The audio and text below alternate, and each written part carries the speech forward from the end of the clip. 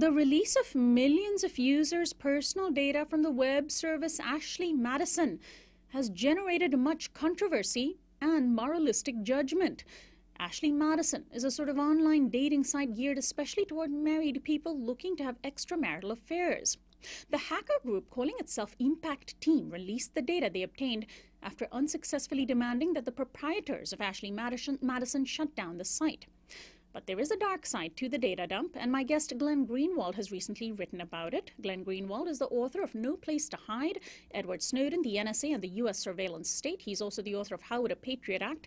And With Liberty and Justice for Some, he's a former constitutional lawyer and civil rights litigator and a Pulitzer Prize winning journalist. Since he began breaking the stories of the NSA's mass surveillance, he's taken on a role as founding editor of the new media outlet The Intercept, on which he wrote the article about Ashley Madison.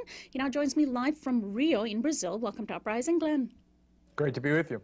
Now, the reasons that the hackers have to release the data seems bizarre at the outset. They were upset that Ashley Madison was retaining user data instead of deleting it, so then they released it themselves to the public?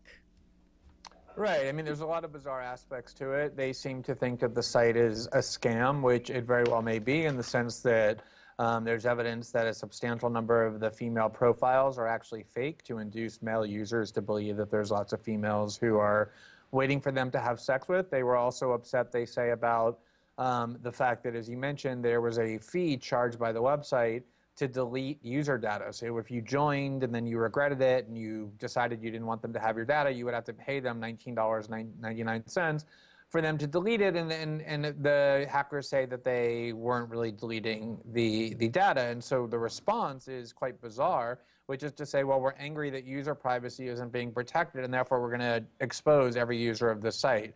Um, I do want to, though, add that the hackers also did have a moralistic component to their um, manifesto, which is essentially to say to these people, look, you've engaged in wrong behavior, sinful behavior. Um, yes, there may be a bad effect on your life from what we're doing, but go ahead and repent and you'll get over it and move on. Hmm.